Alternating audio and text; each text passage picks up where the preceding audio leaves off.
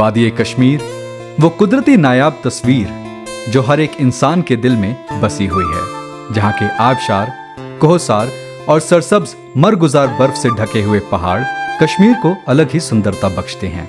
इन्हीं खूबसूरत नज़ारों को देखते हुए आज हम बात करने जा रहे हैं लोलाब वैली के बारे में। लोलाब वैली श्रीनगर से तकरीबन 100 किलोमीटर दूर जिला कुपवाड़ा में वाक़ है।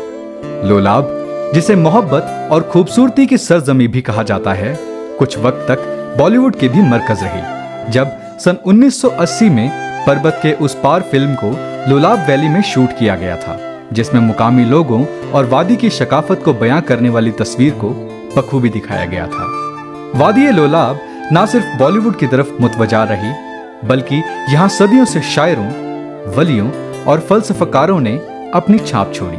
ये एक पुरखलूस और पुरसकून वादी है, जो बहुत सारे सियाहती मुकामातों से जुड़ी हुई है, जैसे केव्स ऑफ़ कैलरूस, चंडीगाम, खुरहमा, खमरियाल, नगसरी और चिरकुट, जहाँ के मुकामी लोग खूबसूरती और मेहमान नवाजी का दूसरा नाम है। लोलाब वैली की बेपनाह खूबसूरती को देखते हुए टूरिज़्म डिपार्टमेंट ऑफ़ कश्मीर की तरफ़ से 75 नए सियाहती मुकामातों को टूरिस्ट डेस्टिनेशंस की लिस्ट में दर्ज किया गया है।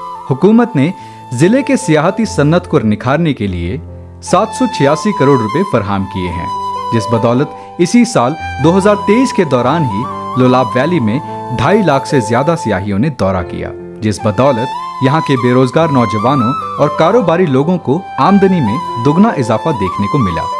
बेशक, लोलाब वैली कश्मीर की माशियत और खुशहाली को बयान करने वाली तस्वीर बन चुकी है।